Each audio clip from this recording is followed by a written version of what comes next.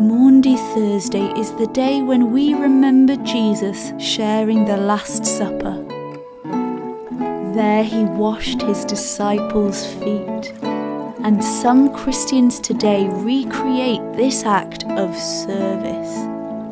It is an important reminder of what Jesus said to his followers Love one another as I have loved you. Thank you.